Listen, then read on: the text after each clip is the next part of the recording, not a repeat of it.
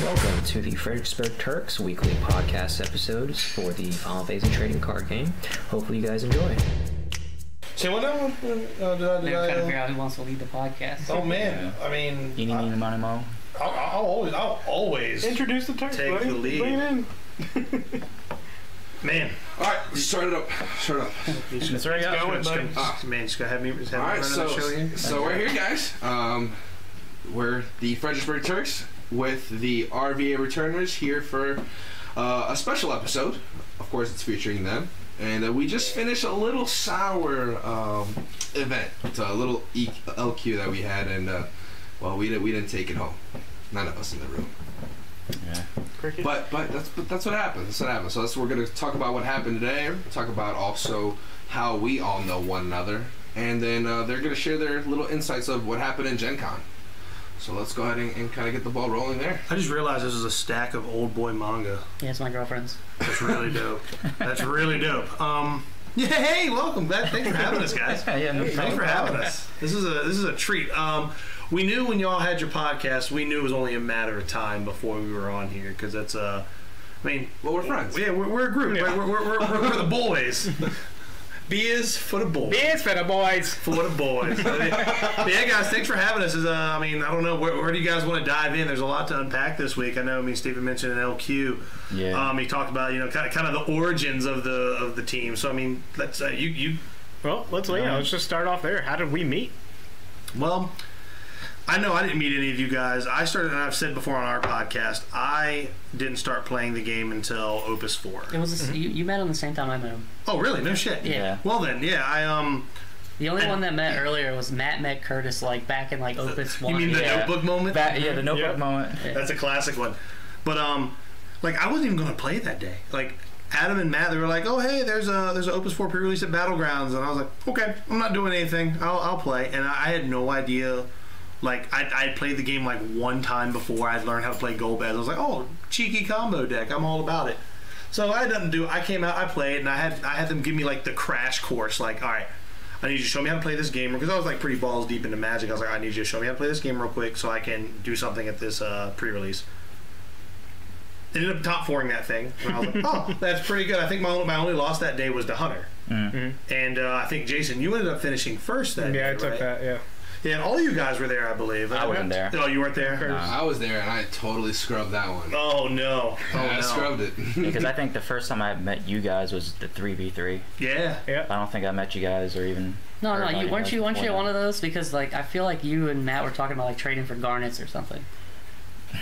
I don't remember. So uh, when I know that I, I I know Oh, of distinct time when I played with you guys, we were at sorcery and there was, we were, I was trying to hold. Yeah, the I remember Winterbox. that. That's actually when I met It you was guys. it was a when I met three man tournament. I was trying to hold. I was trying to hold the winner box, and like yeah, I was gone it, that it was week. Planned that. for like ten people to be there, and like the day of, like people start dropping like flies left and right. Like one give me this reason, like oh I was on my way, oh this happened, my tire. Anyway, more moral of the story, only you two showed up, and I was like, I felt really bad, and I I, I, I was cool with the the guy at the shop, Ryan. I was like, hey look, I know it's just three of us, but can we do something? And then he was like, I mean, we can't run an event until there's four people. I was like, I'll put the extra time for the other four, and then let's let's play it out. Yeah. Let's see who, who's round robin it and uh, figure it out. Mhm.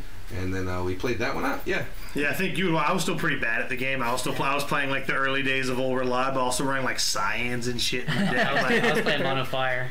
Yeah. Uh, good old you guys, faithful. you guys were playing That's Mono right. Fire, and I think I was on Windwater Standard Unit. You were on Mono Ice. So you're wrong because you Squall Lagooned me in our match. Yeah. Oh. I, I- I don't know what you played. I wasn't even there that week. I was. So- You were playing like Somewhere Opus else. Three Mono Ice. remember the the deck that you taught me that was the main win condition of that deck was Serah Snow turn one. oh, I remember. Yeah, I, Yes. I gave you that deck. You yeah, gave then- me that yeah, deck, and yeah. then you had played me one day before, and you were like, "All right, this is a really bad hand. I'm gonna make a really scrub play, and I'm just gonna do it and see where it goes." And you played a, s- squ- a Laguna, Oh, I remember that. Then Squall, and then you dumpstered me.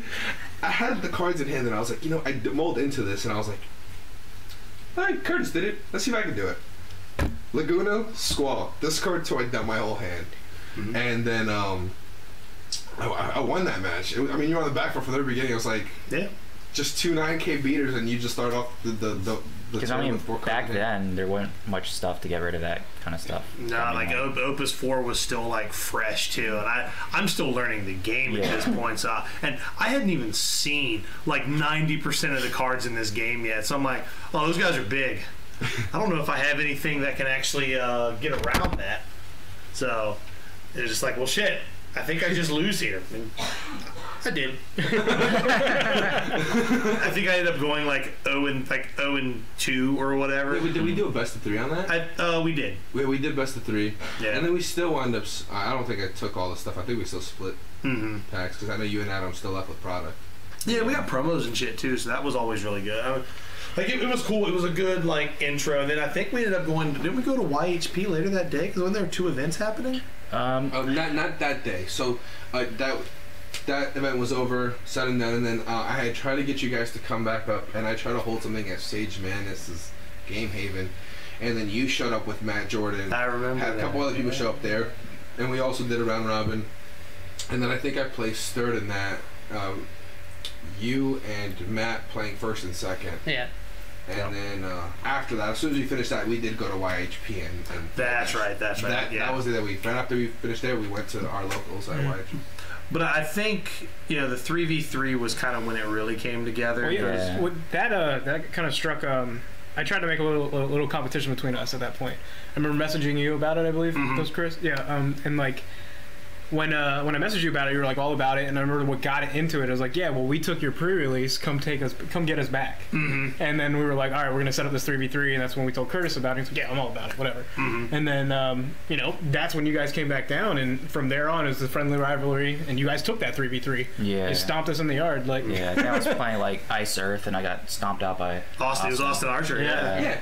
And, and like he, he was supposed to play something completely different. Last minute he's like, "What deck do you have on?" Well, you it's because like Oh, it's 'cause I was supposed to, to play I was supposed to play Wind Water, but he wanted to play Wind Water. So I was like, all right, fine, you play Wind Water. What does anyone else have? And I was like, I guess I'll play Ice Earth right Well, and that was also right after like coming off the heels of Okimoto winning with that deck. yeah, because I played his build. Yeah. yeah, Yeah, I, I, I as built that. I copied that deck to the T because I wanted to. It was it won, and I was like testing against it, so I just had it Sure. on me. Yeah. And then I was like, I played with it a couple times here and there, but I was mostly just testing against it in case someone else picked it up. Oh, sure. No, smart. Um, that's the smart and way to then, do it. um, And then yeah, just handed it over to him, and he, he kind of piloted it with you guys. Yeah, 'cause you were on monsters. Oh, monsters. no, no, no. I was playing the water fire aggro with like Ash, Basch, No, no, you played Water Earth Monsters.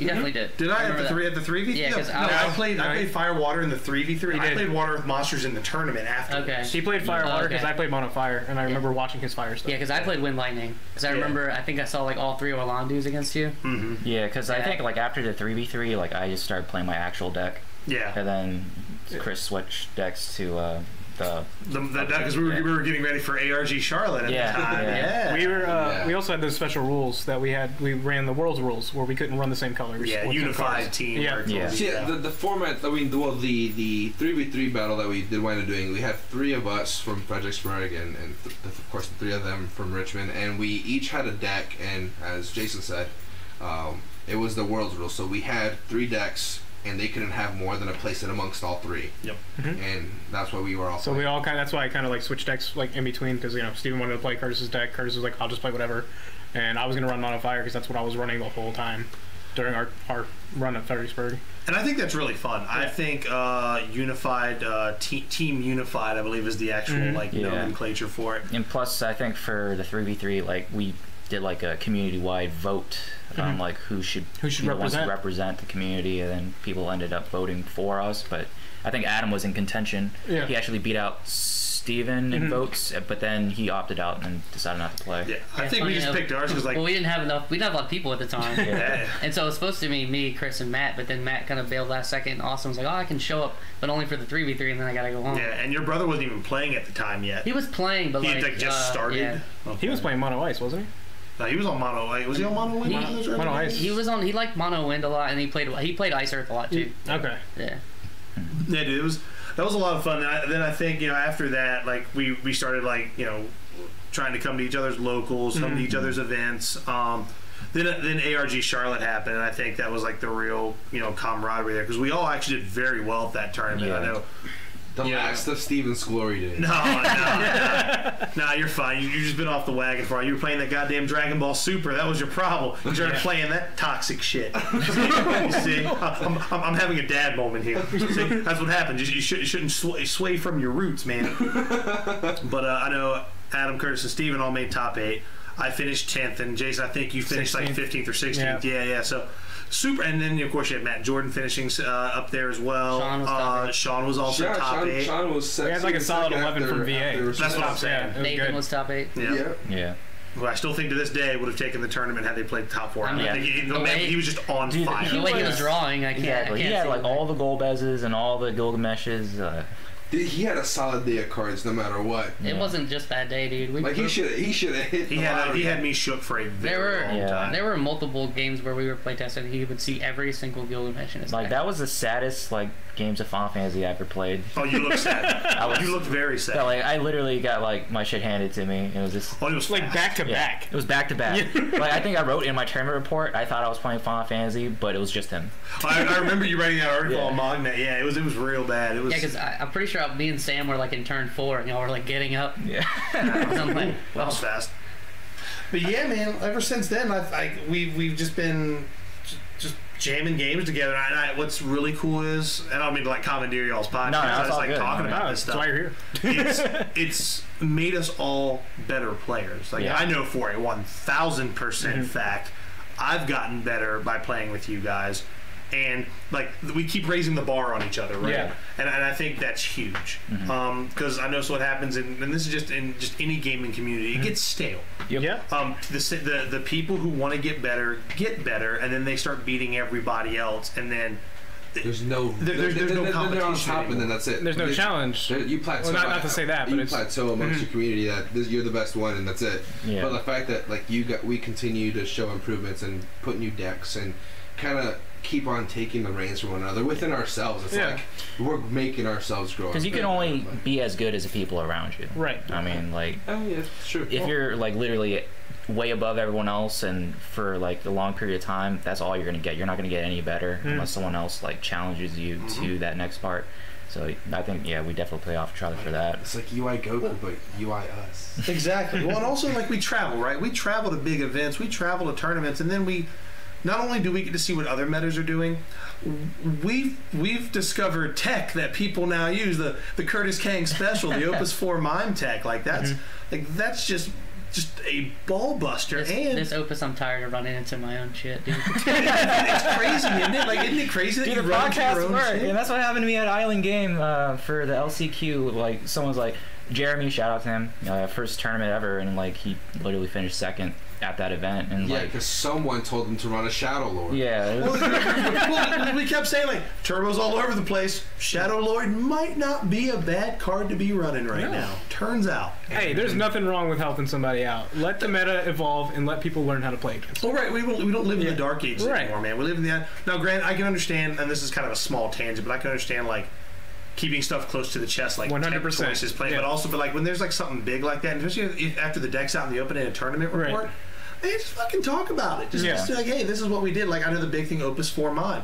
And then the other big thing that came out, and this was like more so in Kansas, the the realm activating your opponent's monsters. Fucking- yeah, Dude, that, that blew everybody's mind. Blew Adam's mind. Blue Bar- my fate. If you'd have taken a snapshot of my face, Your eyes were so wide. You're like, like I'll stand by what I said before. It was like that GIF of a little white boy like Oh, yeah. doing a little thing and zooming out. Dude, and, and I, I'll tell you right now, not a game. There's not a game where I play Realm and I watch my opponent drop a monster. I'm like, oh, you're fucked. well, I saw actually Chris did it today. I saw you activate the guy's Layak, and Yeah. he was like, "You can do that." I activated Layak because I was going for the Cagnazzo because I went for the Cagnazzo turn. I was like, all right, activate your Layak. He's like, what? Like, you could do that. I I- as sure as the sky is blue, you sure as hell can.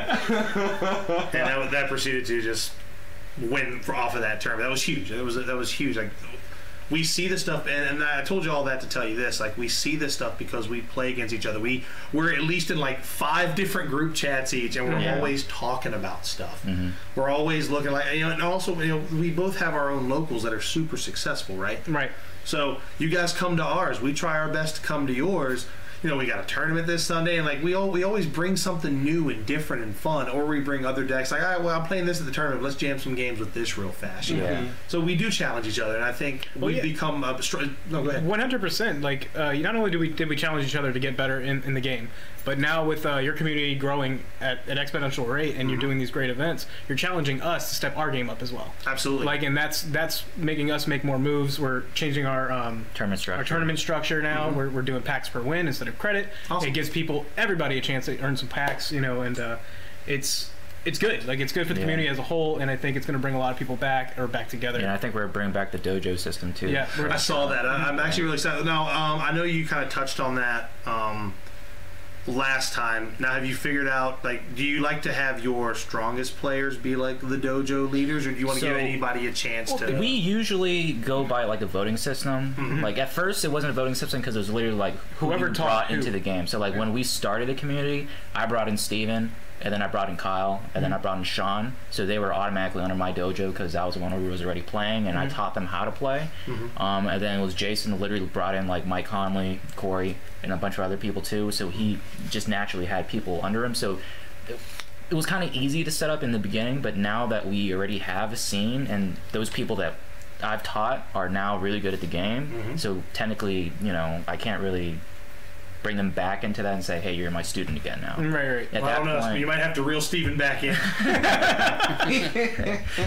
So like right now what we're doing is we're trying to involve the community with it too so like we didn't want to just be like okay we're doing dojos again everyone you know pair up Right. we kind of like said like hey do you guys want to do this and it was a resounding yes everyone's Mm-hmm. like yeah we want to do this again so at this point what we did what we're doing right now is setting up like a voting vote. system who do you want to represent the community who do you want to learn the game under Mm-hmm. who do you want to play with to learn and get better at the game Mm-hmm. and then from there we said you know pick three people and then people tend to pick you know, people will gravitate towards the you know most skilled players, you know, who they feel like would be a good leader. Mm-hmm. It's it's gravity towards the the best players, um, just the best to work with, like Yeah. just friendly overall people. Um, and you know, it's it's a great it's a great system to involve the community on anything. and like we're still in the process of tallying up votes right now. I think the cutoff is Sunday. Sure. So whoever we get on Sunday, if there's like a tie or something like that, we'll do an additional thing. Um, but from there, because we got a lot of new players, and you know Scott, you know, yeah, Scott was a really cool guy, man. I'm glad he came down with y'all. Because like right after that tournament on um, Tuesday, Mhm. like he messaged me. He's like, "Hey, you guys inspired me to get better at this game. Like I'm I'm all in now. I really want to play. You know, Mm-hmm. give me lists for like you know really good decks. I want to learn and get better." So that kind of mentality is great. So we, we do have new players getting in the game. We also have Michael as well um, from Nova. Mm-hmm. Yeah. he's also getting in the game too. He, you know, he wants to play competitively. He wants to be competitive and he So- wants to join the community. Yeah. So like once we have like our actual three leaders from there, we have to find out how we want to do it. Whether we want to do like a draft format, like draft draft system, and do that, or you know say, hey, Or have people just join whoever they Yeah. feel like they need to join. Yeah. Um, we want to see where our progress is as teachers to Yeah. the community, and um, we don't want the pressure of competition to be involved with the dojos. yeah, It's more or less to teach people how to play better, how to be more competitive, or just make better decisions. Yeah, because it's really just more of a learning experience. Mhm. Um, not really so much of like a competition thing. Like, because before Charlotte, dojo's a really big thing, and then once after Charlotte, it started to get a little too competitive. So we, like- we dismantled it. yeah, so we, didn't dismantled it. to That was that part of the reason that we stopped doing it, just because like, oh, my dojo is obviously better than your dojo or something like that. You Yeah. know, things like that. So we wanted to avoid that kind of thing. Um, but yeah, uh, we're still working on like you know finalizing it. But you know, when it's all said and done, probably going to help everyone else get a little bit more competitive, and that's what we're just looking for. So. Well, and that's smart, right? Because that's that's how you grow the community. Um, we're kind of at that Im- impasse right now where we want to nurture the competitive scene, Yeah, but we also don't want to alienate the casual scene. Yeah. that's hard. because I think you're I- at the crux that we were at. You Yeah. know, my right boss before. actually gave uh gave me the option because I, I brought up Saturdays um, with Curtis. I was like, we could probably move it to Saturdays. I would myself wouldn't be able to play Mm-hmm. because I'll be working, but you know, for the for the sake of the community, it'd be better. I think because you guys be able to make it more often. I feel. Oh, for sure. Um, and it just it, I don't think it would work at the store because we have a lot of big events that happen on Saturday, 40k, all that stuff. Um, so my boss told me we can take Fridays. Uh, Friday nights we can do events, and we're gonna rotate between title, kind of like you guys do, and standard. So we'll just do that, rotate standard, and then our power rankings event will be Sunday. Nice. So we have the highly competitive people coming for power rankings, and then we have the people that just want to play in tournament, get tournament play Mhm. on Fridays. Oh yeah, I I think that's a smart way to do it. And um, I, I'm telling you right now, having a week, one week a month where you play title people get so invested in it. Yeah. Like this, like this week, this past Tuesday was supposed to be That our was title crazy. week. Yeah, I was gonna say that too. So like, yeah, it was requested that we move it back because a bunch of people that wanted to play couldn't make it. So they're like, hey, can you move it back a week because we really, really want to play Yo, Title. you know for sure I'm coming Tuesday to oh, play Oh, yeah. Title, man. Oh yeah, Last time I went it was like 24 people. yeah, dude. People love it, and I might come down. I, I I've been trying to. I, I- now that seven actually has like summons, Yeah. I'm, I'm all about it. I, I'll probably put seven. And, and the trick show with title is, yeah, we run it in a tournament format I could do everything else. But the the thing is, don't take it too terribly seriously because it, it's the fun format Yeah. of the game. It is the because you you can play the most broken, busted combos. You can play like cards you otherwise otherwise wouldn't be playing. Like it's a great way to explore the characters in your favorite game or. Play some silly combinations you otherwise can't play, like Yeah. Bart's on Bart's. Yeah, turn. I was exactly. Like, man, that's Barts. broken and like, but it's so fun. Like, granted, it sucks being on the receiving end of it. At the same time, like, but at the same time, you're like, yeah, you know what? It's title. Whatever. Shit's weird. I mean, I use it as an excuse to play my favorite game. Yeah. Right. I just wish six was playable in title. It's Unfortunately, playable. Te- It's technically It's not playable. good. I say that when Ron does like Ron, very well. with Ron this. plays it every month. Yeah, We have but it gives me a chance to play twelve cards. Because outside of like Ash and maybe like Elball Fear, nah, twelve cards aren't great. They do have a good I summon don't. I don't. package. They, though. do- they, have, they have like some of the best summons, and I think the the Sky Pirates version that I'm playing right now is pretty primo. Like it's really solid. I can't. I actually can't wait to play it on Tuesday. Mm. Yeah. So titles are a great way to bring people who like. It's a very much like I like Final Fantasy. I'm kind of intimidated by the card game because like mhm. especially when they see like guys like y'all playing mhm. and y'all are just doing all these crazy you know sequences and combos and playing really fast. 'Cause, I mean, you saw, I mean, you saw how we played today. We, we, we're, we're, Yeah. we're, Boom, we're boom, on the boom. ball with Right. it. But you get people who are on the outside looking in. They're like, "Oh, cool! I love Final Fantasy VII." Well, have we got the format for you? and what's cool is a lot of these decks, like what's great about them is they're not really expensive. except They're, Final Fantasy VII. Final Fantasy VII is expensive because you need like the clouds and the Yeah. Vincents. Well, the good news is the, the like the light clouds actually dropped in value not too long ago. Mhm. They're up they? like yeah, they're like 25 now. Nice. Foil. 25 foil I think is 35. And then, but then So, you yeah. could build something like Final Fantasy twelve, which is other than like, depending on the build, other than like Ash and Chaos Walker, Mm. cards aren't really expensive. Um, or you could play, um, let's see, like Final Fantasy eight, which is Mhm. now very, very yeah. playable. Final Fantasy 8 is very, very good. Uh, right Final now. Fantasy two is a little pricey. Um, Actually, two a- might be the priciest. yeah, two because you need emperors and Firion. A, lot, a lot of legendaries involved there, but but the point is like if you have a favorite game and you just want to play title, guess what? You can because not only is it something you can play at your locals on a monthly basis, you go to any major Square event, there are title tournaments there. Yeah. So sometimes they're free to enter, sometimes they cost like five bucks. Yeah, and I don't know, like uh, when we started doing title format in Fredericksburg, we haven't done it for a little bit just because of all these LCQs and things Sure, like that. sure, sure. Like when we first started, it was really successful. We had like what 16, 18 people on Yeah. like a Wednesday or something like that. Mhm.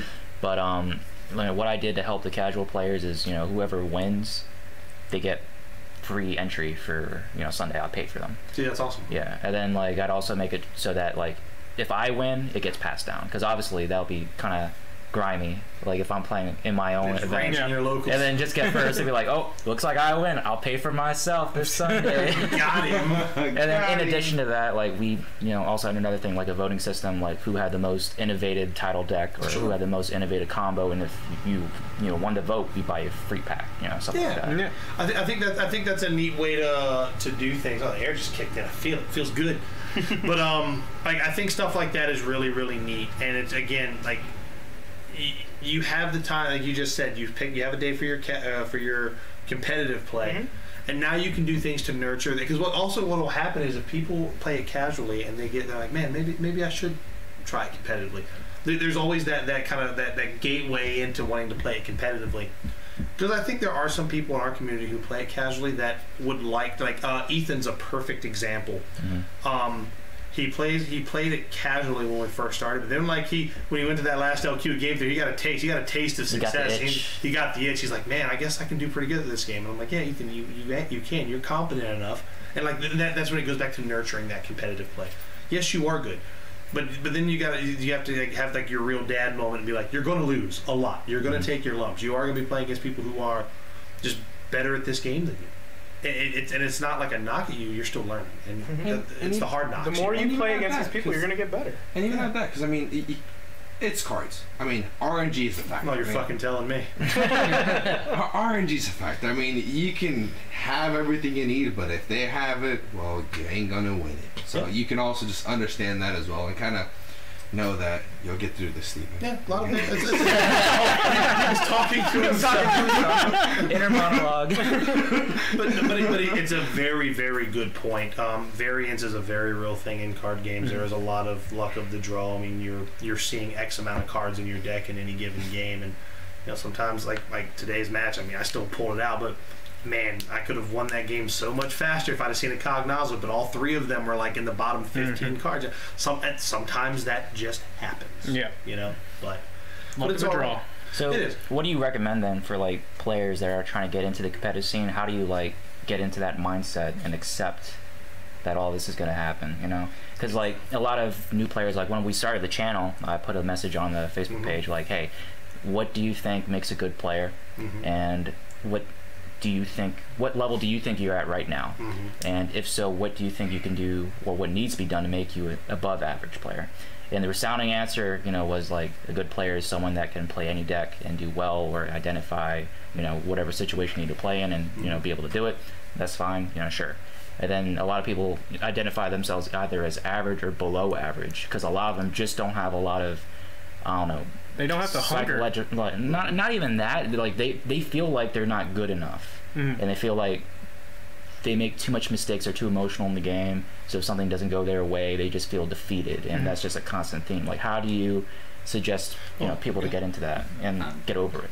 I mean, uh, first off, you don't have to play every deck to be good. You can play one archetype and be really good at one archetype and dominate people. Mhm. That's what I did for Uh, Mono Fire for a while. And there, yeah, there's nothing wrong with that. Mhm. Like if you're really good at one deck or one archetype or one type of deck, and you play that, like you know aggro or control or whatever have you, like you can stick to that and you can still be a really good player and win a bunch of events. Um, I'd say like a little bit of salt is good, Mm-hmm. a good thing, as long as it comes from the right place. Mhm. Um, and I think that shows like what you said, hunger. Like hunger is important. And I mean, this is coming from like fighting games too. I know I do this Yeah. a lot, but like Well, you have so to relatable. you have to have that Yeah. drive, Yeah. right? Like, and, and it's not there's nothing wrong if you don't have it. If you don't have it and you want it, just find the means to tap into it. Mhm. Like, Yeah. you know, see what ask other people what makes that what gives them their drive to keep moving forward and what how do they get over their defeats. Yeah, I mean, I'm just a competitive person by nature. Like Mhm. in anything I play, it's hard for me to like do something now and not be competitive at it, which is maybe a bad thing. Well, our don't know. background with fighting games in general, Yeah. it just you have we have That to, honestly, fighting games changed me. yeah. As soon as I started playing fighting games, I'm like, I can't look at any game. this- No, it doesn't matter what game it is. Right. It could be like Mario Golf. Like, I, I can't look at it the same anymore. For me now, it's like, oh, I, I'm gonna beat my opponent to death. Like, you identify the rules of the system Yeah. and you, the laws of it. Yeah. how to, How do, how do you You're- exploit those rules? Yeah. You're Yeah. gonna do it in eight strokes. I'm gonna do it in seven. Come see me. Bowser has a 2.4 walk speed. and like, there's nothing wrong if like you don't have that like fire. I guess. Mhm.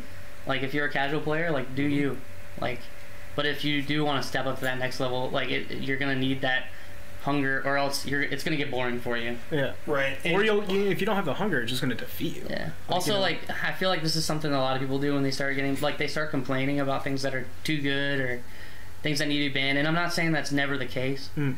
but you should always try to look the other way. Like, be like, how can I beat this?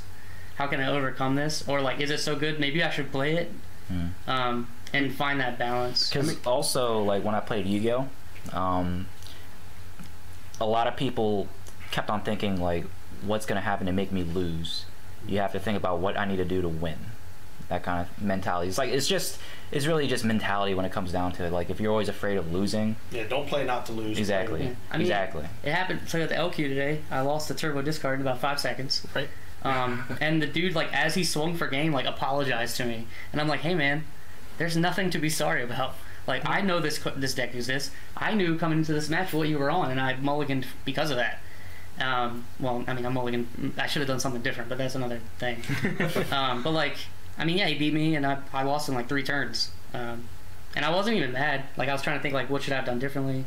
I probably shouldn't have kept the hand that I kept. That's that's the the real thing right there. That's the hunger right there. Is that instead of getting upset at your opponent for outplaying you or whatever, excuses. making excuses, you need to th- think back at what you did wrong, or look to the people that are beside you and ask them, "What did I do wrong?"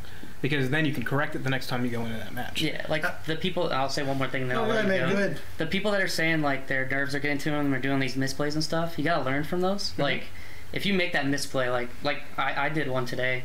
Oh, Like- glad I did one too. Um, like if if you make that, just make it a point to like don't do that again. Like that should be like burned into your right. brain. You need to remember that moment if, and the the shakes, whatever you got at the time that that misplay happened, and just don't repeat it. Like you don't want to feel that again. Well, you got to do you got to do what I like to call the Chris Baculo. Um, he was a Magic player who lost a uh, he um, he missed like pretty much his chance to get into the Hall of Fame based on like a, a, a misplay that he did because he didn't see. The I right think line. I, I think I heard. Yeah, something and he that, kept he kept the card that like in his wallet for a long time. And if that's what you have to do, like if you got to have that reminder, that constant reminder, like if you made a misplay with a card, tape that bitch to the back of your bedroom door. Something so you, if you're hungry, you have to see that every day and be reminded of it. Right. I know that sounds kind of like harsh and very, but like, like do what you have to do to stay hungry and like like uh, believe me. I, I can talk for hours. Uh, three L, three out of three LQs, I go undefeated in Swiss. I make it to this is the, this is the shortest I fall. I made it to the finals both times. Fell short in three games. Today I went undefeated in Swiss. I beat a really good player in top eight, and then I had to go to top four and I got turboed. Mm-hmm. So by like, Jason. by Jason, by Jason. But you know, He's the in this thing- room. Yeah. but the thing is, he he played the deck for the most part right. I saw a couple things I would have done differently, Mhm. but it doesn't matter. Right. Um, a win's a win, Mm-hmm. and I watched I, I watched it slip away for the th- I watched my nationals qualifier slip away for the third time in a month, especially when I and and it happened when I outplayed everybody in the room Mhm. all day long. Did was I upset? I was pretty upset for like a good like two minutes. Had to go outside and put my bag away, but I came back in and like I'm still I was still very frustrated, but I didn't make excuses. I didn't Right. blame my opponent. No, yeah, I like didn't. like that that moment where you got upset and like I I felt awful. Like I didn't Mhm. my my my whole goal for going today like. I got one hour of sleep last night. I didn't intend to go as far as I did, but I Mhm. was hungry. Like, Yeah. you know, I even said like when we got to the top eight, I was like, "Let's just go. We don't no no eating." Yeah, yeah, no break. I want. Yeah, I want to keep going. And um, like that's it was it was just nuts today. Like, Yeah. I mean, and that's the perfect segue for our next topic is talking about the LQ today. Yeah. Yeah. Um, it's So I guess we can just, yeah, we'll, start we'll just go around the room. Whoever Yeah. wants to. Whoever wants to start. We'll, we'll start out. We'll let it slowly get better. So I'll go with the worst possible results myself. Uh-huh. Man, my first two first two matches, I Well, first of all, what are you playing? I, oh, I was playing Mono Lightning. Oh, it's my old faithful, really. That's Which I think is the deck for you. By It, it, it is it is my old faithful really. It's like what i originally started playing with uh, back in opus 2 and i stuck with that all through opus 3 although i made a very bad audible play at nat and somehow ended up on mono water. But besides the point mono lightning is, is my main deck for the most part. And so I, I put put some new stuff together. I mean i know the deck to the t. Yeah there was some adjustments but first matchup was against uh, ice viking uh, Layla, pretty much with the Rinoa and Nidhogg. Danny. Yeah, you're playing against Yeah. Danny. Danny. Danny. Danny. Danny, Yeah, I was sitting right next to that. And um, I mean, I know what the deck, I know what his deck does, I know what my deck does, and I know I need to get up in them guts quick because Swirl up as, some insides. as soon as as soon as he has enough resource to Nidhogg me, that tempo's gonna switch. I got him to like five points of damage, and I'm at one. And I think I have I have like four forwards on the board, four backups. He's got four backups, no forwards on the board, but he's got like eight cards in hand. So guess what's coming next? Nidhogg into cracking the div out, Rinoa, Nidhogg again. It, it- from there, I, I just fell short. Uh, I couldn't put any more points of damage on him after that, and then he slowly creeped up and uh, got back. So even though he had no cards in hand after making that play, he just played next turn he drew Layla Viking, and he recovered quick. Yep. And I was on the back foot. Such mediocre cards. Yeah, Um, I'll be I'll be the next day. Whoever whoever, and this could for anybody listening, whoever thought Layla was a bad card or an average card, not only were you wrong, you were dead ass wrong. That card's borderline broken. That card's insanely good. It's- it, it, like you can, Shit. you can, you can be in a deficit, and it's it. Oh, I mean, I got no cards in hand. I got a couple back. I got backups to play Layla. I'll recover. I'll tell you right Layla now. Viking. All right, If you, I got a if, voice if you were to see my face every time I drew into a Layla or had a Layla in my hand, I mean, I was just like, If it wasn't, if it wasn't for the hat, I, at one moment, at one moment, I did notice during our match when you drew into it, like your hat was down. You had the poker face all day, mm-hmm. but there was one moment when you play, before you played the Layla, you drew and you were just like, like there was that hop, like your hat hopped, and I was like, okay, he's playing, he's playing what he wants. oh yeah. Uh, after after that matchup uh, with the sad ending, I, I played a mirror, um, mono lightning versus mono lightning. In that match, I thought I had it as well. I mean, he had two backups to me having five. Sure. I mean, the game was pretty much all said and done at that point. Um, and f- instead of playing forwards out of my hand and kind of swinging, for some reason I was obsessed with recurring my outset in my graveyard of breaks to like to, so I can do that instead of just playing like the Amon and the Stadium from my hand.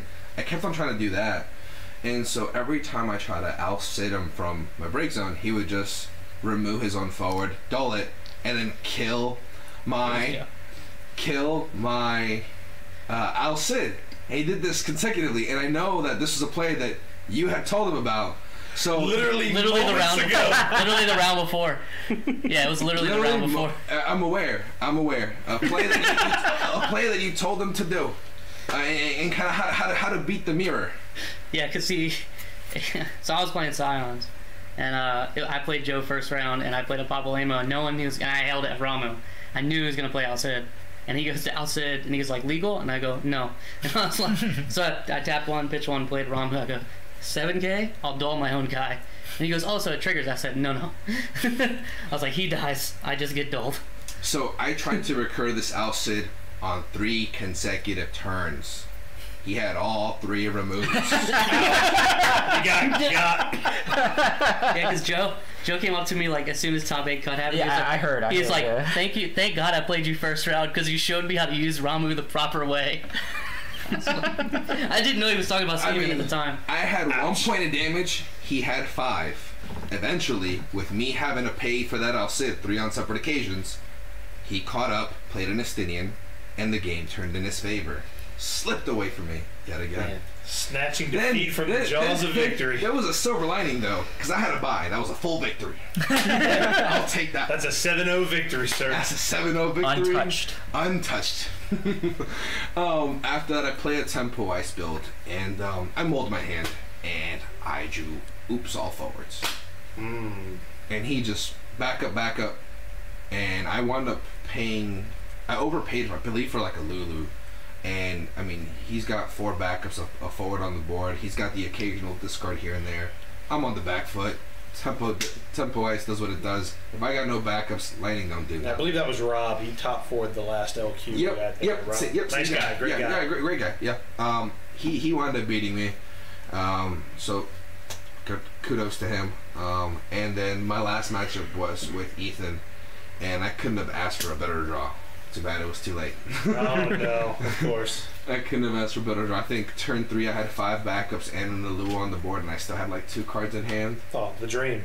Yeah, and then at that point, every time I draw something, I'm just killing anything and everything. I, I believe I played an Adea, and then I also had I, I, I, I had four backups and the Adea backup. I cracked that to play the Adea, and then I had another Adea in hand, and then I just Adea specialed all in one. It was like, all right, those two forwards are gone. Seems good. Seems real good. Um, so two and three is how you finished. Yeah, uh, yeah, two three. Technically, a one win, but we'll, we'll, we'll take we'll take the. Inch or miles. Vin Diesel's fond of saying whether it's an inch or a mile. Oh, I'll take it. Um, but that was pretty much my whole uh, experience wrapped up. Yeah, Yeah. so I was next worst. Um, I started out okay. I started out one I played against Joe. Um, yeah, the, he played into the Ramuh, and then he also he popped his scholar and targeted my Alua and my um, Wool. And I go, okay, fizzle. And he's like, shakes his head, yes. And then he plays Onion Knight and targets Wool. I said, no. he's like, he was like, oh, it only fizzled her damage, right? I said, no. It fizzles the whole effect. I was like, it's the whole thing. And uh, so Joe learned that too, the hard way. um, yeah, so I was able to take that. And then my second match, I was feeling pretty good. I got, I played against Steven, hmm uh, other Steven, uh, Beach Steven. And um, he was on Vikings, like mono water Vikings. Yeah, he's on mono water dude with Vikings. Yeah, and I put him to six, and then he put me to six. But I was like, had the board, hmm and I was like, okay, I'm gonna win next turn. So like, I swing out to put him to six, And then the next turn, he like he swings at me to put me to six, and I'm like, okay, I'm fine with this because I'm just gonna win. And then he plays Trace Fogar, and he goes, I'll mill five and skip your next attack phase. Well, I'm like, hell. All right, that just happened to me. and then after that, he played like um, Cloud of Darkness, I think, or Yeah, something. you and, play like, Cloud. and like that was it. I couldn't Yep. recover. Pretty Um, good. Pretty good. And then right after that was the turbo match where it lasted about five seconds, where I, I kept a hand because I was like, okay, this hand's really good unless he has triple discard. And I've done this so many times to myself, like an idiot. I should just like mull, hard mull for like the cards that are better instead of trying to like play for the double and like get the backups established. I should have just like milled for or mulled for a like wall or a lure or something. Mhm. And so I keep it because I'm like, okay, if he double discards, I'm just gonna go like turn one back up into turn two Louisoix, and I'm set up and good, and then I can kind of play whatever I want. And then he goes, Thaumaturge Argath Gesper. I'm like, okay, this is bad. it's a pretty good opener. And then I managed to get like an Alua on board, and then he Shivas it, and I was dead in like three turns. Um, because the follow up was Snow. yeah. And then after that, I played. What did I play after that? Man, I don't even remember. It was bad. I was tired. I was tired Yeah, today. you like slept the whole drive down. I think I think it was the uh, the croissant sandwich that did you in. Yeah, it also gave me heartburn. It was not a good look. um, oh yeah, no, I played uh, Tannis. He was playing like Fire Earth, Yeah. and I basically anytime he tried to do some cryo stuff, I was like Ramuh, Ramuh, No. Ramuh. Um, and then after that, I was like dead tired. I had to play Curtis last round, and we weren't sure if like even if one of us won, if we were gonna get in or not, 'cause we were both two two. And this is when I realized I was tired. so I had a dragon out, and he had a Porom. And I played one turn. I'm like, okay, he, if I dragon, he's just gonna Porom my dragon. I'm like, okay, so I Ramuh, try to deal or try to dull, Porom and deal 7k to Yuna, and he does like his carbuncle stuff to save Yuna, and then he dulls Porom, and then I crack dragon to KO Ash because he I think he had just like got a Wrestler. Yeah, like a wrestler, but the turn before that, I uh, I think I had a Titan in my hand already. Yeah, that's what it was. So I tightened, saved the Ash, and then next turn, I, Yeah, and then I played another dragon. And then the very next turn, everything that I had just thought about the previous turn, I just completely forgot. And Porom's upright, and I go, I'll dragon Ash. And he goes, I'll Porom. And I'm like, oh yeah, I played around that last I played around then, but not this one. I totally forgot that I was it, there. it didn't matter. Curtis was in control like the whole match, anyways. I think. Mhm. Um, I needed Shantoto, and then, did you hit back to back? Was yeah, that, I, I that, hit that you match? twice for two Yeah, so I run the top. exactly two Shantotos and Scions, and he hit back to back. Oh, the snipe, the snipe. Um, I think I think that was the only card that would have gotten me out, to be honest. That's Yeah. fair. So then yeah, I finished two and three, which wasn't good enough. So Yeah, then I guess I'm next. Uh, was playing Carbuncle. Um, his initial list was by Colin. Um, I just told him to send me it because I wanted to test it out to see if this is something I wanted to take in Nats, and I Mhm. made some improvements to it and added some different cards. I put in like the two drop Alafor Sure. to combat against like Vikings and stuff like that, which did help. Mhm. I, I think I, I'll play probably play more if I decide to play the deck Mhm. like uh, on a more serious level. But uh, round one, played against Josh from Virginia Beach. Mhm. Um, he had the Urianger Mill deck that went undefeated in Swiss. So like, I, I game pl- time. yeah I played that deck for my LCQ win at that same very shop in North Carolina. So like I kind of knew like what I needed to do to get around it. So I just you know played what I need to, got rid of like the important cards, Mhm. uh, made sure to fizzle on you know like the phoenixes and stuff like that when you try to bring it out like you know make him think that the paul was safe and try to swing with that and i end up killing it Mhm. um, the two drop Yuna saved my save my butt Card's every good. time- Best yeah, card in the deck. every time he tried to swing i was like all right carbuncle draw draw i mean draw and then just like block and kill it and i just basically did carbuncle like even if he wasn't doing anything like for three four turns and was just getting free cards yeah, two CP draw a card. Yep. And I, I get it back do it again next turn if you have to Mhm. so just basically did that. Round two, played against Danny, um, and then I was in control for like most of the game. Uh, like I was, you know, giving it to him pretty bad. But later on, he like stabilized. He played Nidhogg, and then he renewed the Nidhogg, and then got rid of the Shantot on my hand. I was like, all right, can't come back Alright. now. You got this. So lost that one. Round three, played against uh, Steven for Virginia Beach. Mhm. Um, and then from there, like I just had a really bad hand. While getting to an even worse hand, I had like no backup, so I was forced to play like four CP dudes like every turn. Mhm. And then he just kept on bouncing them back. So I was just like, all right, you got this. Um, He just outvalued valued you. It sounds Yeah. like. Yeah, that hurts. If, you, if you're forced to play a four drop and you just get Leviathan on that, Mhm. that hurts. because like they know that you have no backups in your hand because that's why you're making this play to begin with. Yeah. So it's just like a low blow. yeah, so like I couldn't really do anything for it. Um, the next round after that, played against um s- one of the guys was playing the mono win deck that won Australia, and I play that deck a lot. So like I kind of knew The like deck's really cool. yeah, like he's seen me play it like a bunch of times. I love playing tournaments. The against pew it. Yeah, deck. the Yeah. Yeah. deck. So like I, I already knew like what the combos are, like what the problems cards are. So like I just kind of played around it, and it was perfectly fine. Um, and then last round, play against Adam. Um, he was definitely tired, and when he did the dragon play on the Porom, I was kind of confused. I was like, Porom? yeah. Got him. Yeah, and then afterwards, like, I wasn't sure like how it'd end up because I knew like one, a couple X twos wouldn't make it. Uh, I was trying to do my best to block for you, so sorry. Uh, That's a, yeah, that, that, that's a good segue because uh, you boys ain't blocked from you once. man, man, like, to be fair, like I haven't played in many LCQs that you were at. Because at the first LCQ, that's where I beat you in final. yeah, So you know we both weren't qualified at that time. yeah. so So it's it, it, every man for himself. every man for point. himself. And then the second local qualifier that you played at was in um, Yorktown. and I didn't go to Yorktown because I was at a wedding, Yeah, so I couldn't block for you there, and I couldn't block for Steven either, who also went to like North Carolina at that time. And then the third one you played at was today, Mm-hmm. yeah. and unfortunately I was not able to squeak into top eight cut. And even if I did, it would be us and that. Uh, It would have been that awkward. Yeah. yeah. So like, so like I would have just scooped you anyways, and you won your top eight match anyway. Right, and that, that's a good segue because I actually had a really good day of cards. Um, I went 5-0 in Swiss. I was on Mono Water Monsters. Uh, beat Hunter Nance in top eight, and then lost to Jason in top four. Uh, my first match was against the uh, Mono Win deck, the Pew Pew deck. Um, it was pretty one-sided actually, um, because I once Minwu hit the deck that I took out of it. He was never able to really establish a board presence either because every time he like played Balthier, so I was like, well, cool. I'm just gonna play this guy and I'm gonna cloud of darkness this. I'm gonna do this. Cool. I've got a 14k gal. What are you gonna do? Um, you know, I had know, walkout. my- you know, just- I I had nothing but gas, and then I had you know Cleone was always on deck, so pretty much making any summons he could play just just useless. Yeah. So I, I just outvalued him and just uh, just took over the game. Every time I looked over at your board state, dude.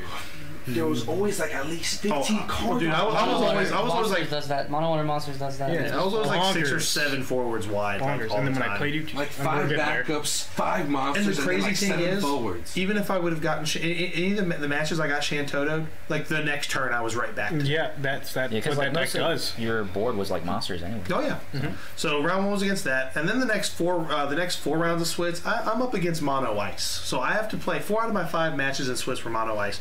Uh, round two, I played against Rob. He was on tempo. Um, he got out, he got out of the gates pretty quickly. Um, he said his hand wasn't all that great, but he was able to get a couple backups down. He had like. Um, I think he had, he didn't have Celeste, but I think he had Lock. He had like Shock Trooper. Like he had some bodies, but I was able to get my backup line going. I, again, uh, we got the Cleone value to stop his summons. We've got Lena with Go-Go on the board. We've got Malboro. We've got Dragons on deck. Uh, Tonberry was pretty key there. Uh, pretty much against Ice, like once Cloud of Darkness hits the board, you can't do anything. Like, the, the game's over. Like Cloud of Darkness just seals the deal. And I think I hit I hit a, a Gal special on him a couple times. Like I once once I got my backup line, I was in firm control and I'm not going to downplay it. Several like swingy turns were like, all right, cool, Lena Viking, go. I got my seven fours, and next turn was like Cloud of Darkness. So I just kind of just straight up outvalued him. Um, then the next next round I played against Jason. Um, he was on Turbo Ice, and um, I actually. I, I, I try actually practice this match. I was so worried. This was the match I was worried about going into today because we played, we ta- tested this week, Yeah. and I was like one in four against. Yeah, it. we tested a lot of games uh, with DGS Turbo Ice Discard, and I took like every single one of them except for one. Yeah, and I was just like, well, I think what I need to do here is play some backups because I, I think Mono Water, the way you beat that deck is you get to three backups as quick as possible. That's why I run two Evokers in the deck. Evoker was such a good card for me today because anytime I played against Ice, I had two Evokers out. Yeah. Because that card's that card is really really good because you can ramp without having to you know de- get rid of your hand. Because I mean, if you think about it, when you have the three backups, you're playing the same strategy as they are. Because Mm-hmm. like their strategy is they can play everything they top deck, but you can't. But if you play three, you can play everything that you top deck, but And they can be too. better. But your cards are better. Exactly. And it got to a point where, you know, like I felt like maybe you stumbled early on. Oh, and, yeah. And I, I took I, the fact when I when I went turn one back up because I was on the play. I would turn one back up, and I think you went back up in like Argath, and I was like, "Oh shit, I Right? need." It was a to- bad hand. Yeah, I I was like- mulligan into it, so yeah. I was like, well, I need to go ahead and just take full advantage of. So I'm like, uh, I played like a backup. I played a monster, and I played. I, I had I had the cards in hand to like play a lot of stuff, like establish a board presence. Still have cards left to not worry about the sit all state. Um, then I, I it just snowballed from there. Like he was, there was a point where like his board got a little wide, but then it was. I think uh, was that I believe I either Cagnazzoed you or just outvalued you with uh, Cloud of Darkness. I don't remember. Well, your cloud of darkness hit and just started picking me off one by one. I was hoping on. I was praying on the uh, the mill out, Yeah, that's right. Yeah, right, Yeah. yeah, we were. You were and then you that. cog that the final the final match was a Cagnazzo bomb. Yep. Yep. And then next round, I had to go right back into Turbo against JR. I told you I'd get your name right. Um, his hand was fine. Like he started out with double discard, and I Oh, was not the like, triple. no, he got double on me. But then I was like, all right, back up. And I was like, back up. Next turn, evoker, back up. Like I was, I was at three, and uh, no, actually.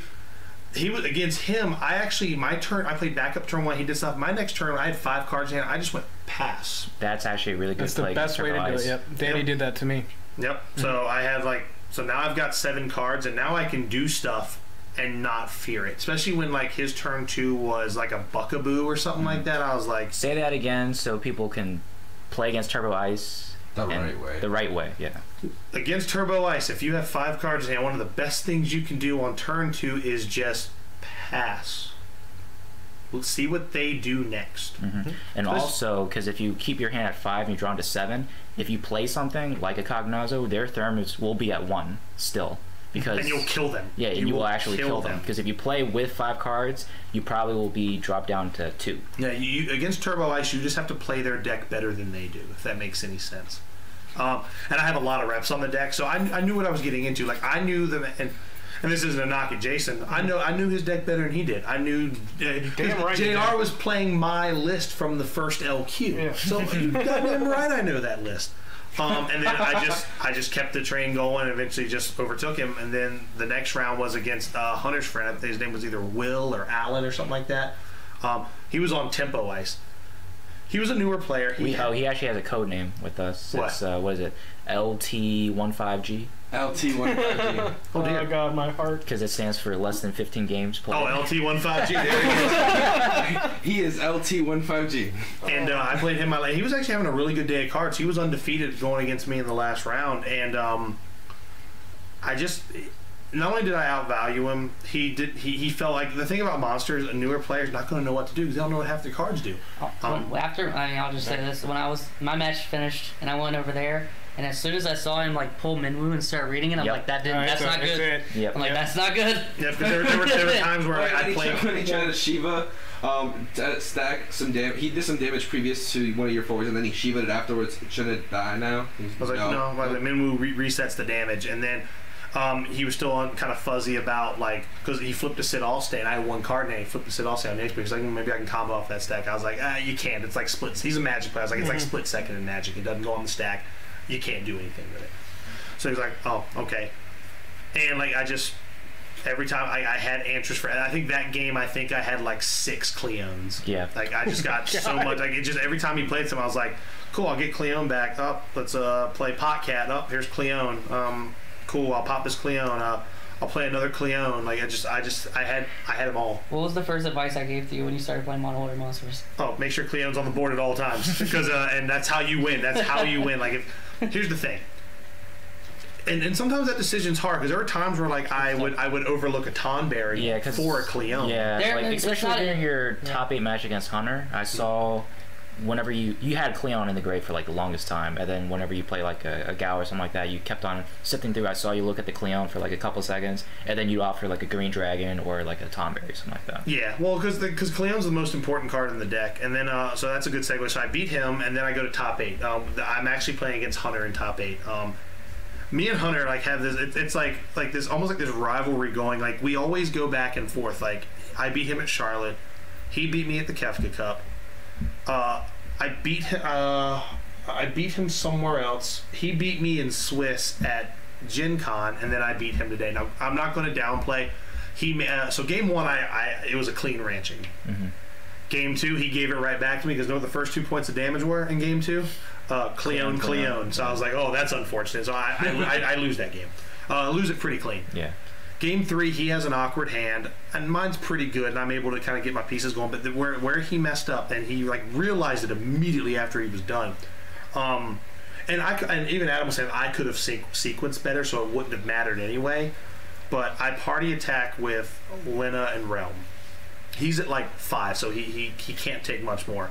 He go. I, he takes the part. He uh he uses Famfrit to pop my Cleone, and then and on the board I have I have Realm, Lena, Gal, and the Emperor.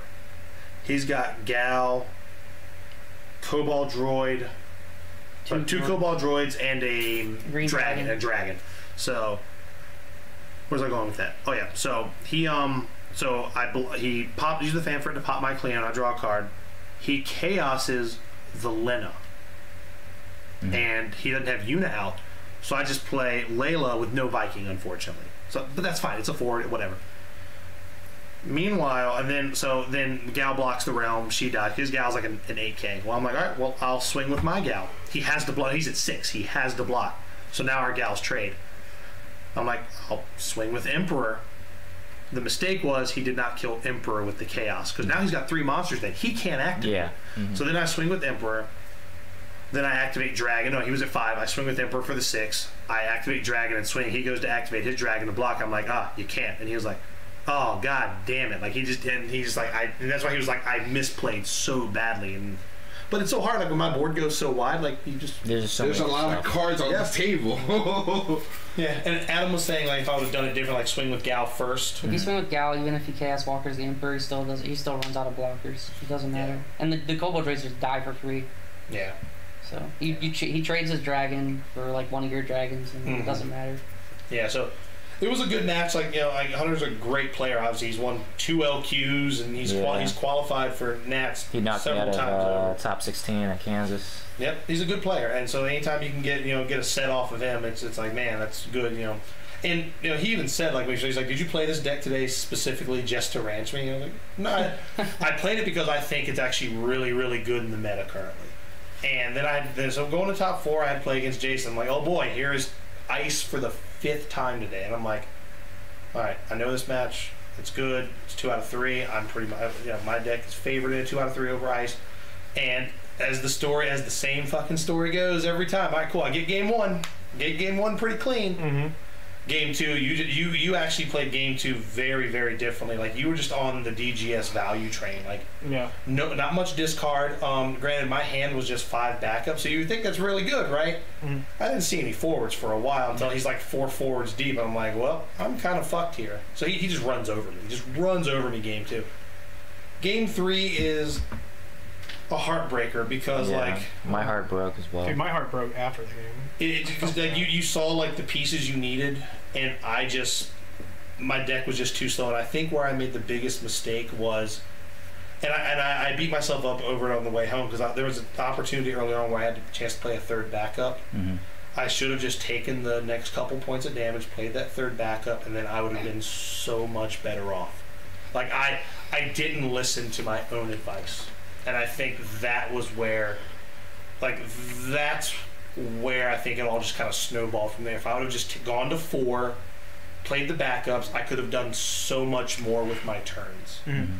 instead of that because I really had to like manage my CP, and I was like, man, I just if I really had that, and I, like every turn, I'm like, man, if I had that third backup, I'd be in such a better position, and I just, yep, Yeah, like I said, you'd be able to play anything you top deck. pretty much, and that was the. It was funny. That was the only game I didn't do that, and the only set I didn't do that, and, I paid for it. So like, I'm not. I wasn't. I was upset at the situation because here I am again, third LQ. I dumpster my way through the tournament. I get to top cut. I, I beat a really good player. I'm like, man, I took care. I, I beat the one person that I was legit worried about winning this thing.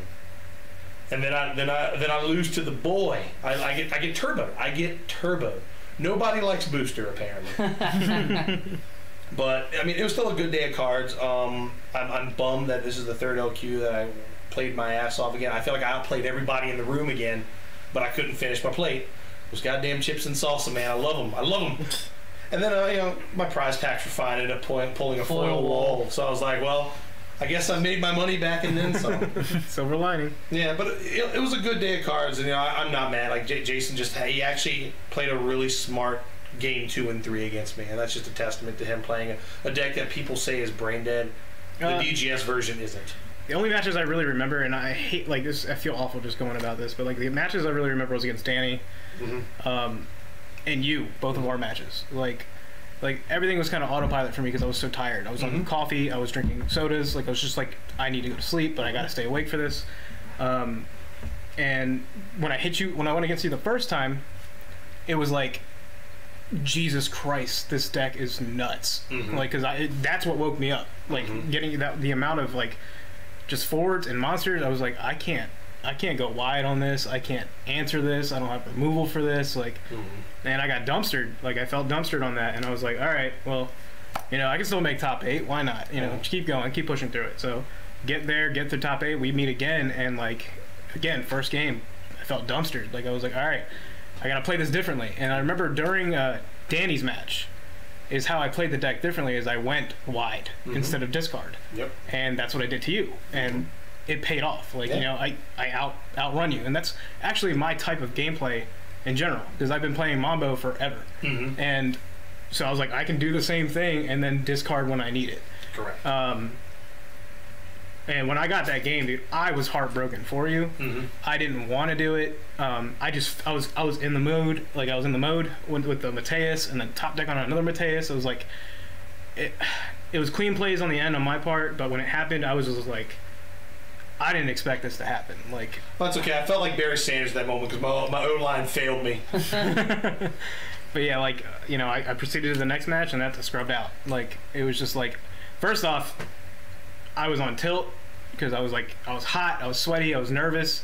I go into the match and I didn't realize this guy was literally taught two days ago. LT one five G. Yeah, Yeah, 15 games. Less than 15 games. yeah, like what? Like, and I realized this when he starts picking up every card I play. Once he learned the like the second round, he had the cards unlocked. He was fine, and he was steamrolling me. Like it was, I misplayed horribly, and I'll tell you why I misplayed. Like, Oh. I was so mad. yeah, I know, Curtis. Sure. I know you were disappointed, and I, I mean, I, there's no ah. excuse for it. I have no excuses. The only, You might, you're The- just smoking after that. the worst thing I can say is I did not prep enough for, with that deck for the event. Like you said, like you noticed there's things that you you wouldn't have done that I did. Oh, one. Oh, absolutely. Yeah, and like, and that's because I played. I literally went to my local shop like two days before and played Scott like three games before my work, and then I went to Steven's house the, net, the like the following night or that night I forget, um, and we played like what six games. yeah, we played, you played like a few rounds. Yeah, we, we went in and I was doing well with it. I was like, all right, I can play it. It seems pretty auto. I see why people are like, Well, it's a Playing testament it. to the deck. Like, so, Yeah. so it, sometimes it just wins. right, right, right, yeah. And sometimes it just poops on you. No, Like, So it is. So here's the thing with, with like the deck. So like a bad player can play it and do good with it, but it also depends on like who you are playing against because if you are playing against a high caliber player Which- with that deck, the decisions are much more critical. Oh, yeah, yeah, and than than I'm just a steamroll. Like I said, I'm not. I, I don't want to. I, I went into this wrong. I'm not going to say it is brain dead. It's not because like, yes, you can autopilot your way through like the lower matches, but once you get to those high caliber players, you do have to sit and think. Mm-hmm. Yep. Like it's if not. you, Yeah, you were if you the, keep you the wrong the card, on you're a lot done. of turns. Yeah. I mean, I'm not. I'm not. Again, not taking anything away because you're, No, you're no. a good player. Right. You know how to play this game. So Right. You had those turns where you were in the tank and you had to. You had to outplay me on turns. Right. DGS is that that version of Turbo does afford you the ability to outplay your opponent during the match. Mm-hmm. Right. Like, you literally have to. The thing with DGS is like the way you outplay them is I'm gonna keep this card because I'm gonna predict that this is gonna happen, Yeah. Right. and that's if you make that wrong call, that's when the deck poops on you. Mm-hmm. Yep. So And that that was like, like yeah, I'm completely wrong when I say that. Like I mean, the first iteration of Turbo Ice I felt was pretty auto hit or Yeah, miss. ours, That's pretty hard. ours was pretty. Uh, I mean, like you, you said it yourself. You don't like to run it. When I was running DGS, I felt dirty. yeah, I had to But- do it at least once myself. So But yeah, like, get But- at island games. but like it's not. It's a good. It's a good deck. It's. I'm not in any way knocking the person that created it. You know, at all. It's a great deck. Um, I just don't have enough practice with it to to close out what I wanted. And I want to congratulate the guy that beat me. Does anyone know his name? Uh, like his name was like Will or Will. Alan or something like just that. know it I think, as I think it was LT. Will. I, I went up to him Actually. the other day because like I saw him asking questions about certain cards, and I was Yeah. like, "Yo, did, like, did, are you new to the game?" and and then I overheard him talking with Hunter Nance about like the, the amount of times he played, and I mean, quite honest, I'm impressed. No, I'm No, no, no. too. That's that's the thing. I'm not taking anything away from him. Like, After yeah, getting- it took his minute to like read the cards. Like I'm just straight up impressed. Like Right, right. The, like he's It's a good card player, fundamentals. regardless. Yeah, of he, he played the fundamentals. He's a, he's a former Magic player. Like when I played, like I said, I was on tilt the first game. The second game, I sat there like, "Hello, darkness, my old friend" was my theme song after the match. I sat there for a minute, depressed, and just stood up, got the prize support, wanted to leave. But at, at, you know, I congratulated him over by the prize support, shook his hand again. I said, you know, congratulations, you outplayed the crap out of me. Good for you. Like, and you know, the salt aside, like the fact that this man played that many games, went to LQ, won it. And I think that It's a true testament to the player. And I think that's like a good message for the community too. Mhm. Like for a new player that played only 15 games, beating Turbo Ice Discard in the finals for their LQ win, and this is a deck that the entire community has been like you know scratching their heads or getting angry about. Mhm. If you stick to the fundamentals, you can win and you can perform very well. You just have to play a little bit different differently, but you know it's definitely possible. I just wish that would have been me in that final match. I think it would. I, I, I, I really, and this is again not taking anything away from anybody, but had I beat Jayson in top four, I'm You would have taken it. I So and that's why I was it. that's why I was sad because I like I even told them I was like you know I wish I scooped to you mm-hmm. like or like I wish I just I wish I lost mm-hmm. because I wanted you to go like Well, that's the other thing too, man. Like, I'll never ask anybody to scoot to me. Like I, and I know you wouldn't because you're you're prideful and you want to win your Well, match I like winning on my own. Yeah, terms, 'cause I- exactly. I know I'm good enough. right but you know like like even on the ride ride to the LQ like I told Steven you know like I'm I'm not sure where I feel about going to California. I want to go. Mm-hmm. Money's a factor for me. Mm-hmm. Um, you know I work at a hobby shop. I'm going for assistant manager. Like I have to be there to do things. And like if I had won yes I would go. But like give or take like I was ser- seriously struggling during that that final match with mm-hmm. you on whether to throw it. And I don't that's that's a horrible thing to do but like I wanted my friends to go. Like I want Steven to go. I want you to go. I know Adam's going. I know Curtis is going. And you guys are the four that hang out. Like I've been the guy. Like like Curtis said in that last podcast. I'm kind of the local hero. Oh. I sit back. I build the community. I keep the guys having a good time at, at our shop. And like You live long enough. you see See yourself become the the villain. You got the name of your episode. so yeah, it's it's uh now now it's happened, and now I think I'm just gonna sit out, and hopefully the boys can get in there. It's okay, though, but overall, it's, it's been a good like LQ season. Like I'm not upset. I'm trying to go to the one tomorrow. I've got You to. should. I've I'm got telling to. you. I've, I've got if you to. need to hide in the car, we can do it. You're a big No, guy. better yet, let him go, please. Yeah. Let him go. It's my time. It's my time. yeah, we'll man. figure I'm out, I'm gonna like- sleep on this one tonight. I mean, I'm gonna do some meditating, Mm-hmm. and, and maybe maybe Opus Four Steve gonna do a little comeback. You know what I mean? I, I think Opus Four Stevens should probably pull out Opus Opus Six standard units and. But I'm telling you, just, if you can come out tomorrow, I'll put on my serious game face and not test decks anymore.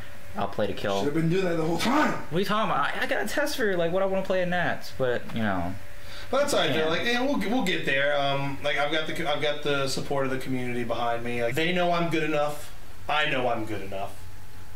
And gosh darn it, people like me. No, I'm kidding. No, and I know I'll get there. Like if I don't get it before Nats, I'll fly out a day early, play in the last chance qualifier, crash with one of the Cali boys if I have to, and then just make top four there. And it, it's making for a great Cinderella story, right? Like Right. I, I, I come so close to all these qualifiers. I fly out to the LQ. I win that one.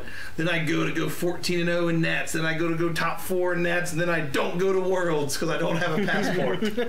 Beautiful. It's, it's it's like it's, it's it's you know it's kind of like Lethal Weapon three, but not all. But, not at all.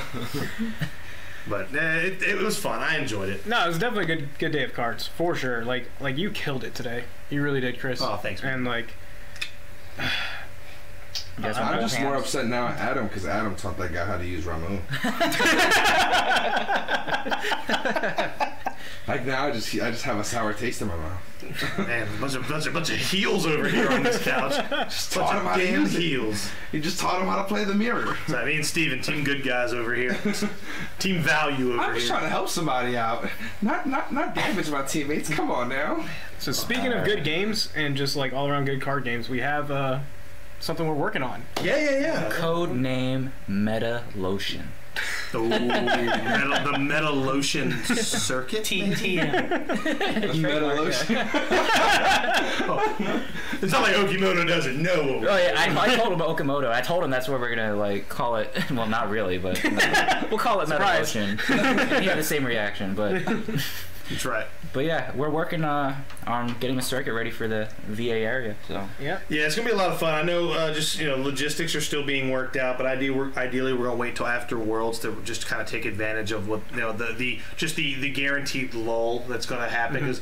I figure Crystal Cup season probably because I, the, like the ARG like stuff doesn't really exist anymore. I, I don't the, know. If the, the, Pennsylvania qualifier was ARG. was it really interesting? Yes, it, today it happened today Yeah, too. well, Well, good, Yeah. good. That's like one that they've had, and I I know Max Williams was judging that by Yep. the way, which is really cool. But like, I mean, like the the, the that circuit doesn't exist anymore. Um, they're uh, do, are they still doing petite cups?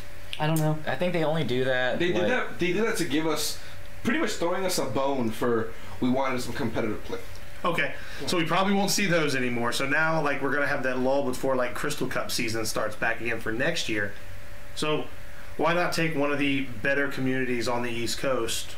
Which you know we're not two darn horns. We just kind of are. We've got the results. We've got the credentials. We put the groundwork it. in. It's here. Exactly. And, we're- amongst all three of us, Virginia Beach, Richmond, and, and Fredericksburg, I mean, we're, we're like 50, 50 strong. I mean, there's a lot of us to be. Oh, yeah. Our qualifiers are hard, dude. Yeah, no, no, no joke. No Yeah, joke. it's really You don't even have to. Yeah. Yeah.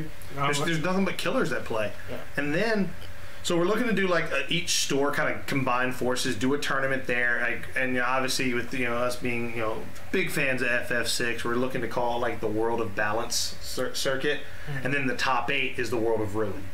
And then you have your your supreme champion. We're looking to get maybe like custom play match for the top eight. Oh, and then like also another idea we were stuff. toying with is the winner of the circuit series gets to decide the theme of the next season. Yeah, absolutely. Just, just it's your, it's you know, your mantle as the champion. You get to choose. You know, we want to do like trophies, really cool prizes. Um, I think that's the next step to really solidifying our community. I know me and Adam have said on our podcast that we're gonna like maybe step back from playing after like Nats and World, just not like not play, right. but really focus more on the content, kind of nurture the community. Like I want, I want, I want to have one of those proud dad moments where I see like Ron and Colin and those guys like go off to Nats, make me proud, son. Mwah. watch them come back with a championship. Like watch them win our locals. Like I mean, like Ron won that Memorial Day tournament. I was super happy. I was like, man, like we we've got a, we've got like killers in our own backyard, and I want to nurt again. It goes back to nurturing that competitive side. Mm-hmm. That's why we've got that tournament next week, where like I I.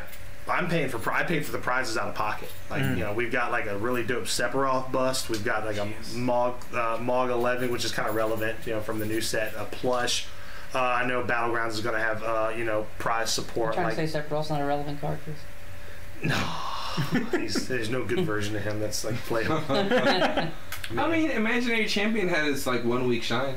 Yeah, it's true. He's a good card. Now the correct play is you play uh, four drop Sephiroth and you magic pot him into eight drop Sephiroth, Sa- and then you still lose the game. that sounds very, that sounds very much like a Chucky. That's a Chucky Russ move if I ever heard one. But you did it in You style. You went from a four drop to an eight drop. I'd rather just Rinoa my own Dark Lord and really just be a badass. no, I fun Yeah, that's how you do I'm that. a mill twenty card. Yeah. Oh, when we Get were talking fucked. about most losses at Gen Con, we were like, what, what do we do? And like, Fire Ice. no, Dark dude, Lord of you paradise yourself as early as possible. turn two, Eald'narche. Paradise.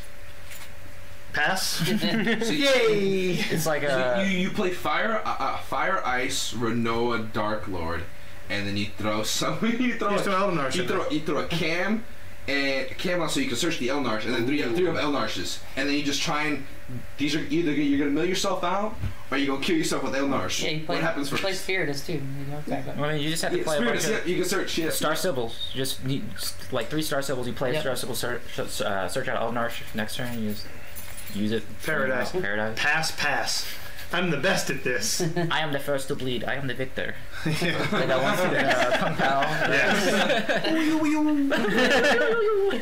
But anyways, the last question, so we can uh, end the podcast. Do you guys think the meta is fully defined? Um, well, we, we just we just we just whoop, we just pump the brakes and turn um turn the car around. Um, I'm gonna say no. Um, I think we've got an idea of like like I think some of like most of the basic archetypes have been discovered. Obviously, Viking builds are very, very popular. They're very, very strong. But I, I don't think we've seen everything. I think this set has a lot to unpack. There's a lot of value cards, a lot of combo pieces in this set that I think people are going to be discovering. I, I have yet, and this is just me personally, I have yet to even start messing with Fire Ice. And I think mm. there's a lot of really good cards in both of those elements that are great splashes for other archetypes and decks. And now we're now we live we live in a game or we, we, we live in a game. we're, we're now playing a game where four and five color decks are extremely viable. Right. The, Final the- the- that's what I'm saying, man. Like the combinations are endless. Like a great example, that Final Fantasy two deck from Gen Con. No one's ready for that. That, that deck is insane. But here's the thing with that deck, and Curtis brought this, and it makes a valid point. The more popular that deck gets, the worse it's. Well, Leon just comes out. Yeah, yeah. yeah. yeah, Leon just takes a hike and he gets replaced by another like just good card. Paul. Paul. Yeah, by Paul. There you go. Like, like the, I think I think the fact that a card like Cid Two exists create like, you you have all these engines to play these. Like you have your Leos, your Cid Twos, your Kam'lanauts. Like there's cards that reward you for playing multiple colors. Mm-hmm. And I think that's the direction the game's going to go. Like they're going to start nurturing that a lot more now. Like you can sit across from somebody and they could like like the fact that we live in a world how like up until up until Opus Six it was Wind Water YRP. Fuck that. That's old news. Now it's Earth Wind YRP because you have the ability to play Yuna without having to play blue. Or if you really want to play blue, you can do it super, super easy without having to commit like X amount of cards in your deck to make it viable. You know what I mean? Yeah. Like archetypes are archetypes are changing colors. They're adding more colors. Like the game is very, very dead. And I've only been playing it since January.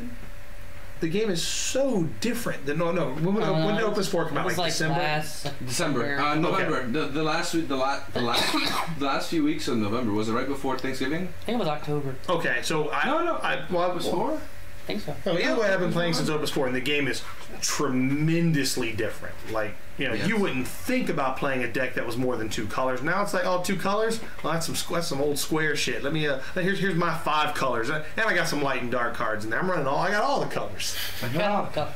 Yeah, like it. it I, so no, I told you all that to tell you. You got some colors? No, I I. I don't think the meta's defined because I think there's still so much more to unpack in this set. I'll, I'll come in there and agree with that. Like, um, just everyone was so concerned when they saw Turbo Ice come out, Mm-hmm. and now you look at it. Everyone, you know, I kept telling everybody. I mean, yes, it, it sucks. It's happening. It's in a, the meta's in a weird place, but it's still early. Mm-hmm. And the only reason why it's so strong right now is because all these big events are happening and people are using it a lot. Correct. And uh, that's when the Vikings popped up, and now there's like Vikings everywhere, and it's it's the development of meta. It always starts off really strong in the beginning, and then it kind of flips to another color. And right now you've got the the multicolor decks that are coming out, and coming out of the gates, and they're swinging. And um, I think it's really going to go towards like I think fire is going to be a big big deal coming up. I think they're finally going to because a lot of people backed up from Minwu for a little bit. Um, that'll be changed. Obviously, we got Vikings back. Uh, the Vikings package, you put them in there. It's a good good setup. Well, also too, man, you live in a world where you can play Mono Fire, but you can run Kam'lanaut and Chaos and jam backup destruction Hecatoncheir and not not worry about it. Right. Like you could have a 98% Mono Fire deck with like five Earth cards, and that's doable because of cards like Kam'lanaut. Mm-hmm. I'm, I'm not saying you would, but like the fact that you can and you can test that. And I make it mean, viable. it's crazy that like you think about we talk about cards that are like, that were like terrible or whatever, and now everybody's like, people are putting cards like we're talking about like the goddamn tomato, Yeah. yeah. on that card. We're like that card sucks, and then now we're like, oh, 3K. It's actually pretty good. It's real now. The, the, the meta now is where 3K is the sweet spot because not only do you worry about Vikings, you have Argath. And that is Thaumaturge. so weird. No. Valefor. People are playing like 2CP Valefor. I did today. In Opus Fantastic. 5, it was all about 9K, just big, fat, beefy beaters. Now it's like, here's my 3K that gets a 2K. I'll draw a card, and now you're in trouble because I have this on the board. Right. I haven't played Cyclops in Mono Lightning since Opus 3.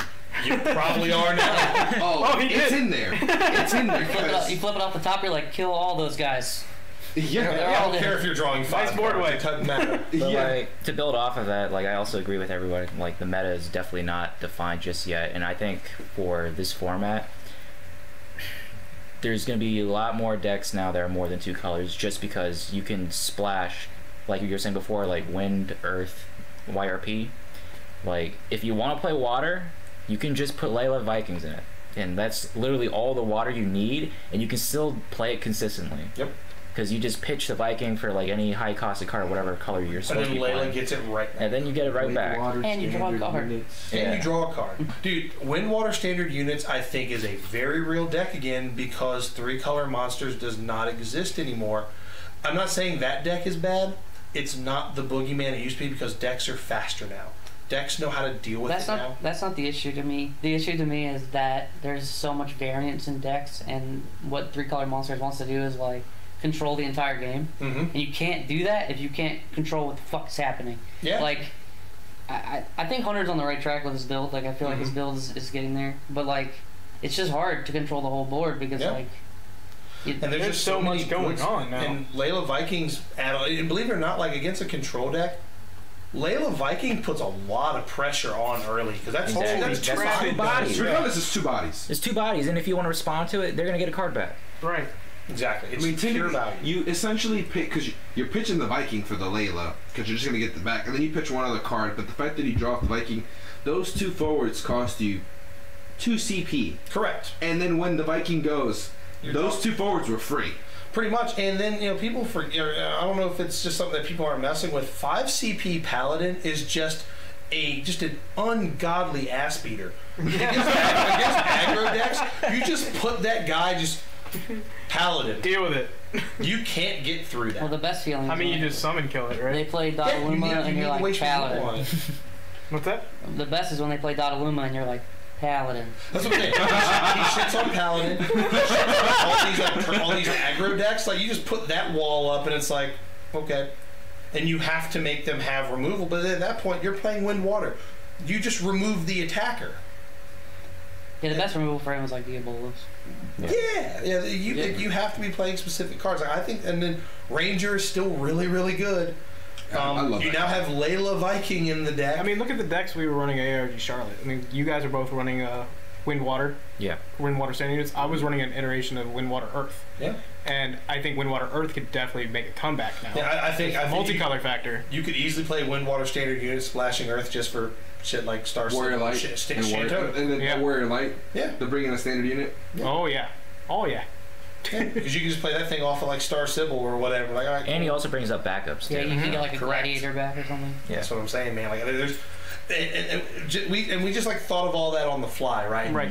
Th- that's what this. That's what Opus Six has done to the game. Yeah, and There's I'm, just so many neat. and like literally for like deck building, if you want to play any color, like just splash it in whatever deck you're playing, you can do that for any color right now in this Mhm. opus. I'm not gonna spell all the secrets, but like it is possible if you want to splash fire in a deck consistently, you can do it. You want to splash water in a deck consistently, that's not even part of your main strategy, you can do it. You Yeah, do shit, it man. when, Play a control deck with three it. Ramuhs. Fucking go nuts. You can do it. You can do it.